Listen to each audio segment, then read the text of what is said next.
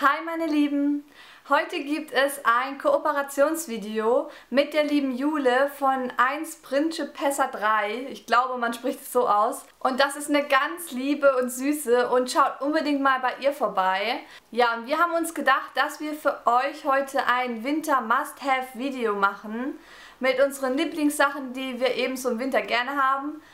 Und ja, da ist alles dabei, Beauty, Fashion, Alltagssachen und ja, dann beginne ich gleich mal. Dann fange ich mal mit den Beauty-Sachen für den Winter an.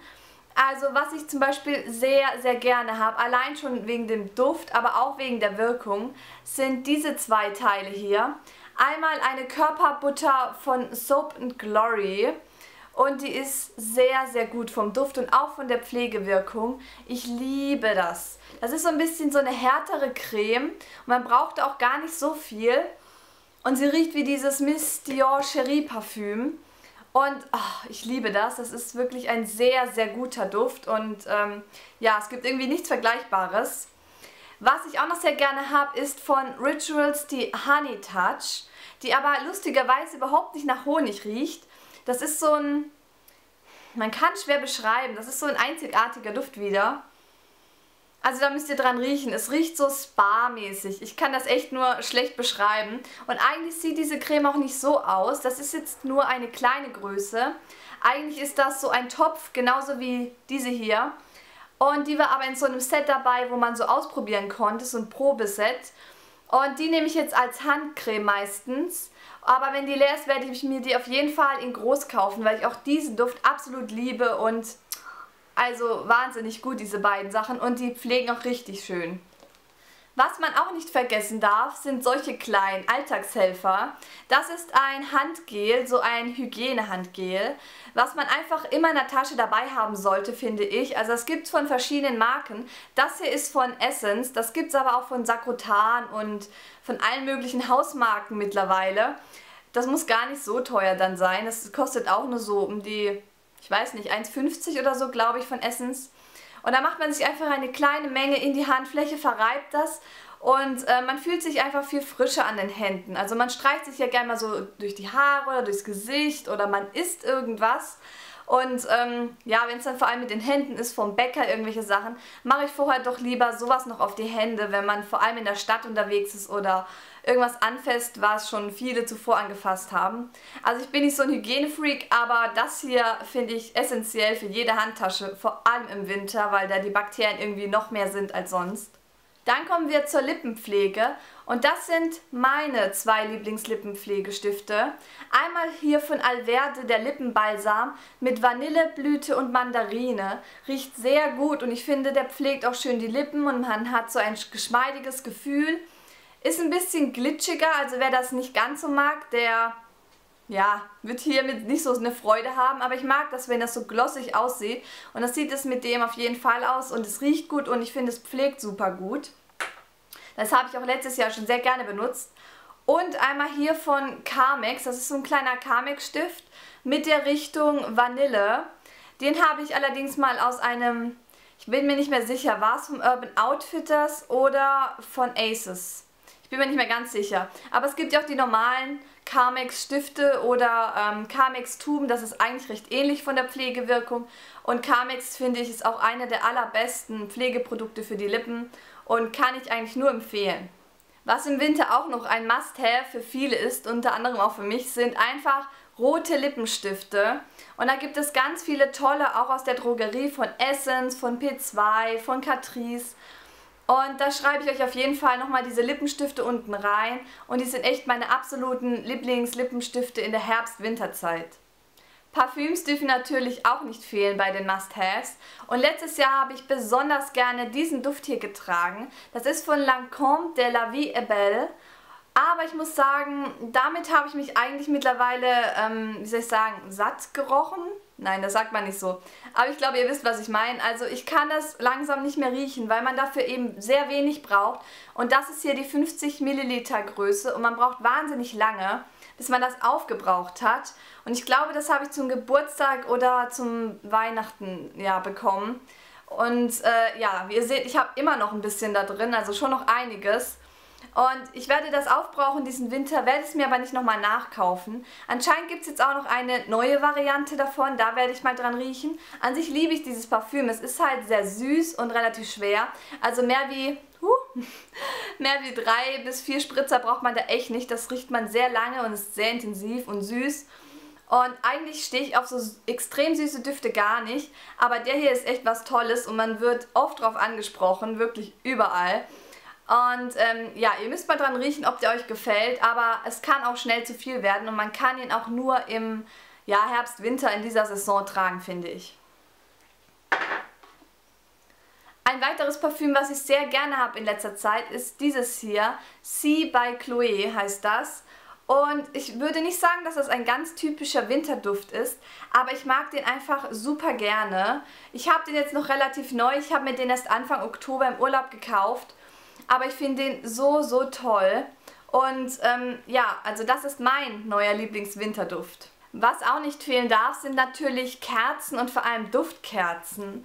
Und meine aller, allerliebste Duftkerze ist diese hier von Yankee Candle. Das ist die Home Sweet Home. Und die riecht so, so gut nach irgendwie Glühwein, Punsch, ähm, so süßlich fruchtig und zimtig. So in die Richtung geht die. Und das ist ein wahnsinnig toller Duft und ich werde mir auf jeden Fall noch ein paar andere holen.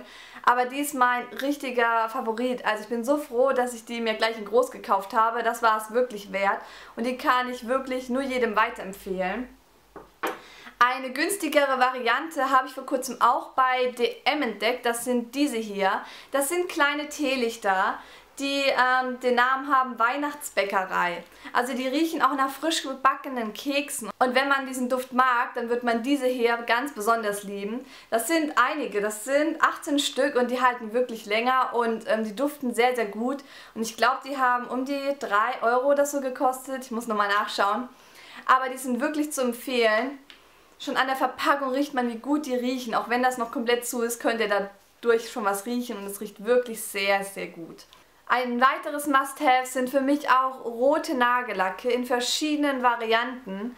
Ob das knallrot ist, ob das äh, dunkleres Rot ist, Weinrot, beerig oder eben so richtig klassisches dunkles Weinrot, so wie meine Bluse ungefähr. Und das hier ist mein aller allerliebster Ton von P2, die Nummer 691 Can't Get Enough. Das ist ein sehr, sehr schönes Weinrot.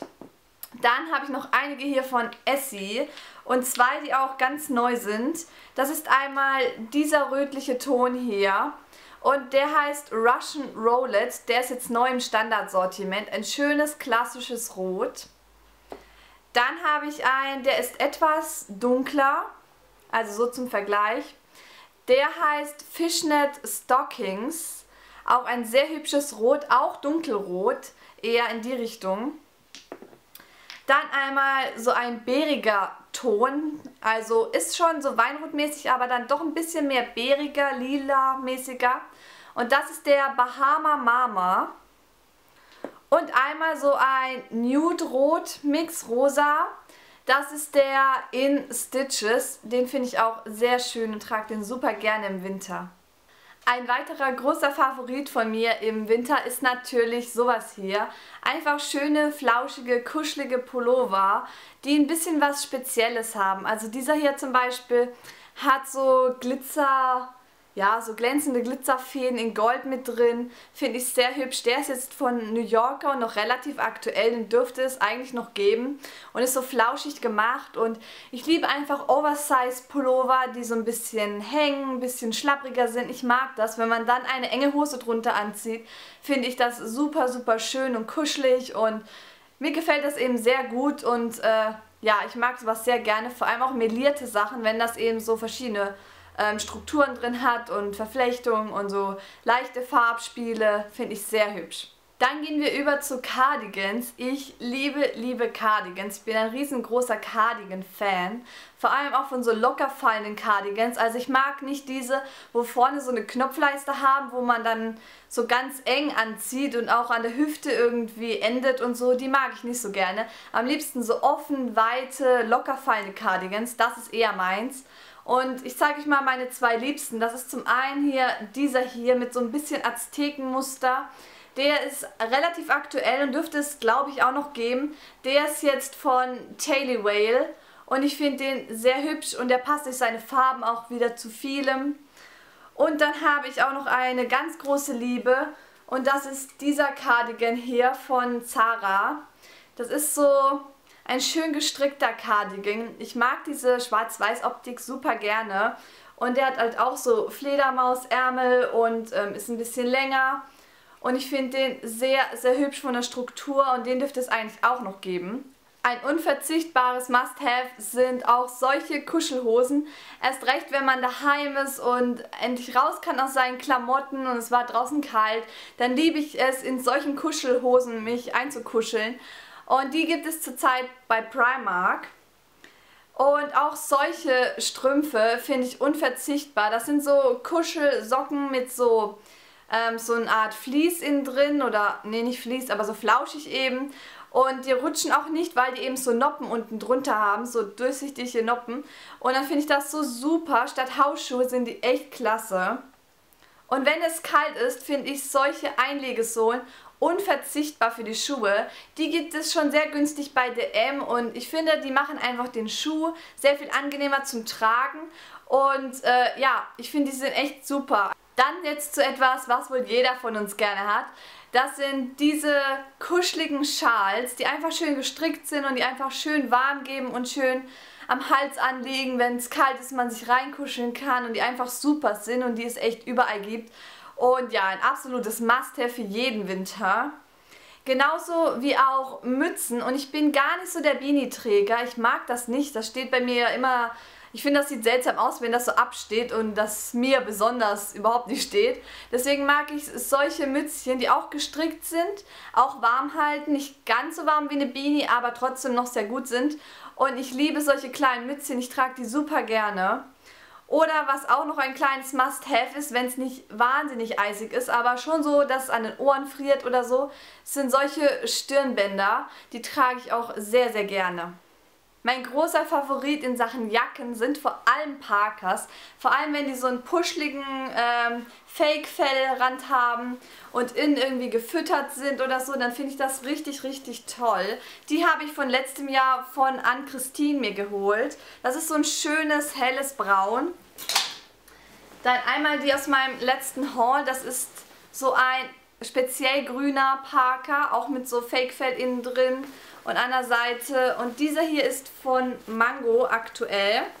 Hat sehr schöne goldene Elemente hier. Gefällt mir richtig gut. Ich liebe Parkers über alles.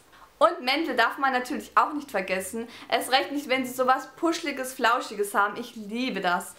Und ähm, ja, ich mag solche ähm, Schnallen und all sowas, was irgendwie schick und edel aussieht. Und ähm, Mäntel sind auch ein absolutes Must-Have. Was mir nicht so gefällt, sind Downjacken. Das einzig Gute an Downjacken ist es ja, dass sie sehr schön warm halten. Aber es gibt noch eine andere Variante, wie man Parkers und Mäntel anziehen kann, ohne darin zu frieren. Und das sind solche Jacken hier. Die kann man einfach über seine Kleidung ziehen, aber unter die Jacken. Das ist so eine Art Fließjacke. Also das ist jetzt kein richtiges Fließ und ich glaube, ich werde mir noch eine richtige zulegen, weil es je nachdem, wenn es wirklich unter 0 Grad hatte, schon kalt sein kann und es dann doch zu kalt war. Und das ist aber so die Art, wo ich einfach meine von diesen Jacken, die man so drunter anziehen kann, damit es einfach schon mal wärmt bevor nochmal der Parker drüber kommt. Und das ist meist sogar noch besser wie nur eine Jacke, dass man wie so ein Zwiebellook so zwei, drei Schichten hat. Und das kann ich einfach nur empfehlen und ähm, das ist mein ultimativer Trick, wenn es einfach zu kalt wird und man denkt, der Parker reicht nicht aus. Dann einfach so wie eine Fließjacke oder am besten sogar noch eine richtige Fließjacke drunter anziehen. Dann kommen wir zu Lifestyle, Random Sachen und meine absoluten Lieblinge in Sachen Getränke sind diese zwei hier. Einmal darüber habe ich schon ganz oft ganz viel gesprochen. Das ist der Chai Latte mit Vanille und Zimt von Krüger. Absolute Mega-Empfehlung. Und seit neuestem jetzt auch von Teekanne, dieser Tee hier. Der heißt Winterzeit und das ist mein absoluter neuer Lieblingstee. Der riecht so apfelfrischmäßig, aber auch mit ähm, so typischen Weihnachtsgewürzen. Also so Zimt und ähm, ja, so keksmäßig, so Spekulatius. Und das ist so der absolute tolle Winterduft für mich. Also ich liebe den, den müsst ihr unbedingt mal ausprobieren. Und was gibt es denn Schöneres, wenn man in eine Decke eingekuschelt ist, daheim, ähm, die Duftkerzen aufgestellt hat, irgendwelche ähm, leckeren Sachen isst und dann dabei noch eine DVD schaut und ich liebe abgöttisch Gilmore Girls. Irgendwie habe ich es immer im Winter so damit, dass ich anfange Gilmore Girls zu schauen, irgendwie jedes Jahr. Und ich liebe, liebe alle Gilmore Girls Staffeln und ich habe gerade angefangen, die wieder zu schauen. Ich habe jetzt nur, weil das so das schönste Exemplar ist, finde ich, vom Titelbild, ähm, euch das stellvertretend einfach gezeigt. Ich liebe Gilmore Girls und ich finde, jeder sollte einmal Gilmore Girls geschaut haben. Es ist einfach beruhigend und man kann schön eine Tasse Tee trinken oder irgendwas dabei machen und ich liebe Gilmore Girls. Ja, das waren meine Winter Must-Haves. Ich hoffe, es hat euch gefallen und ich konnte vielleicht euch ein paar Inspirationen geben oder so. Und vergesst auf keinen Fall jetzt noch bei der Jule vorbeizuschauen. Ihren Link vom Kanal findet ihr unten in der Infobox und ich werde sie auch nochmal irgendwo hier einblenden. Und es ist eine super Liebe und ich mag sie einfach wahnsinnig gerne. Und schaut doch mal bei ihr vorbei, wenn ihr Lust habt, noch ein äh, Winter-Must-Have-Video zu sehen. Und dann bis zum nächsten Mal. Tschüss!